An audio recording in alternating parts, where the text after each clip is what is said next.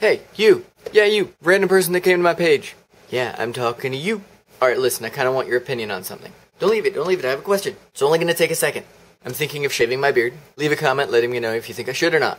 Okay, thanks! You don't have to watch the rest of the video if you don't want to, I just want you to answer that for me. I stayed up super late to get this video online for you. Hey, you're still here! Aw, thanks, I feel special that you chose to watch my video. That was kind of a depressing day in the news. Well, hello, Empire. So I woke up and was thinking about what I was gonna make a video about today. Then it hit me. I'll make a video about my job. Yeah! That'll be really funny. I'll just talk about. And the membrane went like this. It was then I realized how much I actually have to say about my job and line of work. So I decided that I'm probably going to start a chain of videos about that. But I don't have time for that today. So here's a normal video about what caught my eye in the news today.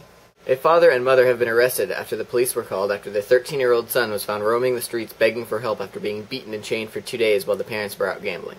Well, did I just read that right? Yeah, that's what happened. Are you kidding me?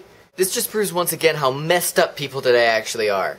So these people chained this kid up, then chained him to the kitchen table, then abused him for two days while he was chained to the table. Whatever this kid did, it must have been pretty bad. But I still don't think he deserved to be chained and beaten for two days. I mean, don't get me wrong, I'm all for beating some bad kids. Side note, if you don't punish your kids, they will grow up to be bad kids, and when they get in trouble, it will be your fault. Having said that, I don't think there's anything this kid could have actually done to deserve being chained to a table and beaten for two days. How long were they gonna keep him chained up for?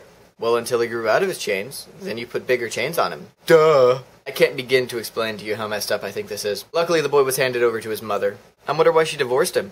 Maybe he chained her up whenever she didn't make the sandwiches just the way that he likes them. Omga. So a church in Florida plans to host International Burn a Quran Day. Come again? A church in Florida plans to host International... No, no, no, no, no. N- never mind. Are you serious? Well, yeah, that's what it says. Why are they doing this? Well, because it's the religion of the devil. ah, so instead of taking to the teaching of your own religion and loving everyone to the best of your ability, they're just gonna piss off every Muslim that they possibly can, so there's no chance that they'll listen to you.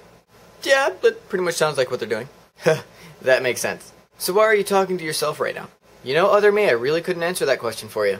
Seriously though, if you aren't willing to hear other people's perspectives on anything they have to say, do you really expect them to listen to your perspective? No. Okay, so take that a step further. Not only do you not want to hear what they have to say, but you also burn their sacred text in the most disrespectful of ways. You really think it's just gonna flip a switch for them? Or, or anyone else for that matter? Oh, International Burn a Quran yeah. These, these guys got their crap in order. I'm gonna listen to what they have to say. No! Christianity, fail. Zomga!